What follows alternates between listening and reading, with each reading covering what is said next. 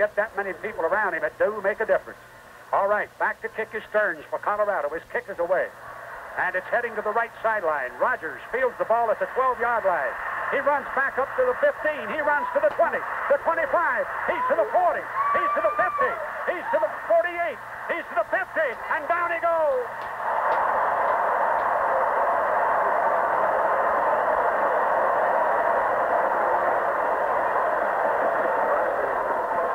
Oh, he's showing the world, Mother. Man, woman, or child, can he run. What a thing of beauty.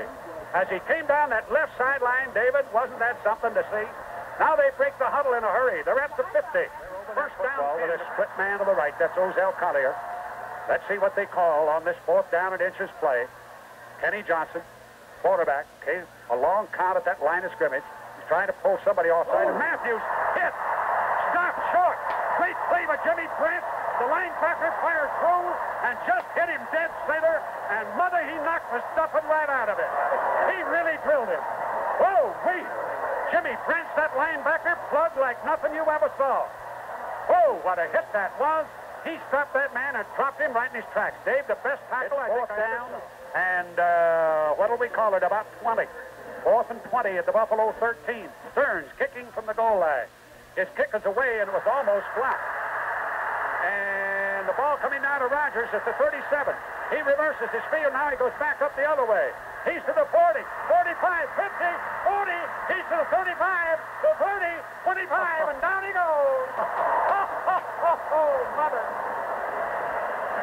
Have you ever in your life, have you ever in your life, Have you ever seen anything like that? Oh, holy moly. That kid is just out of sight. Out of sight, out of sight.